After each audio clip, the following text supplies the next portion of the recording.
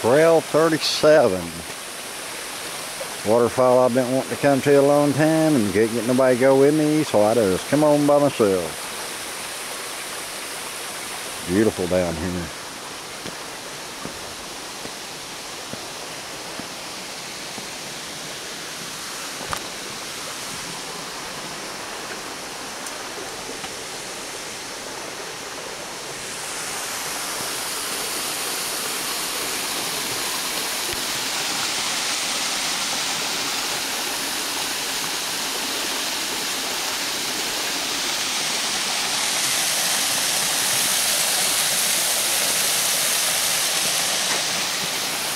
And better be careful on these rocks. Don't want to go swimming today. It's a little bit too cold.